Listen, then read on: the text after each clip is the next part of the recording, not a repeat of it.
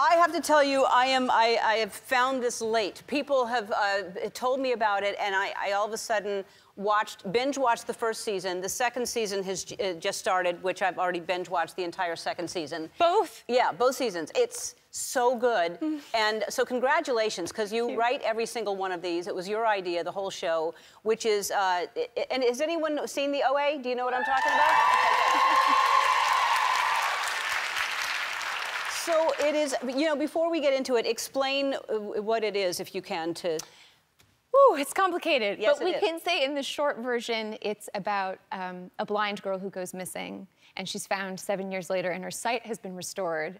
But she won't talk about how that happened or what happened over the seven missing years to the FBI or her parents. And then she opens up to this group of teenage boys and starts to tell them her story. And that is what happens over part one and part two. Right, and it's very uh, metaphysical. It's very. Uh, have you always had this this vivid imagination of? Because I think you you wrote two movies also with a kind of the same same vein. Yeah, I think, you know, my parents moved from Chicago to Florida when I was a kid, and I don't know if you've ever been to Central Florida. Yes, I've I've toured there. Okay, so it's, you know, not a lot going on in the swamp part at the center. So we were living there, and, you know, basically everything there is designed to kill you gators, water moccasins, mosquitoes the size of pancakes. You know, it's a scary place. Um, and so I think it makes you develop an imagination. My parents sent me away to a summer camp there for a period. It was like a Girl Scout camp, literally in the Everglades. And the first day we got there, they told us, the only thing you need to know to survive this camp is how to run from a gator. Has anyone ever told you how to run from a gator? No, how do we? We should know that now. I'm gonna show you. No straight lines, all this. Yeah. And apparently, this disorients and confuses them, and that's how you survive. So when I got to this camp and they told me this, I was like, oh, my parents sent me here not to come back. like the whole thing's a con. I'm basically supposed to die here. And and so at night, you know, because I was so bored, I would start daydreaming these stories, and I'd be lying in the bunks with all the other little girls, you know, our covers pulled up and mosquito nets everywhere because you can die from all the mosquitoes. And I would start telling them ghost stories. And there was this wood above, you know, in the cabin, and there was these kind of knots in the wood like eyes. And so I was like, ah, we're on the ground of a great massacre, and all the ghost eyes are looking down on us. And I thought this was very entertaining for them. Mm-hmm.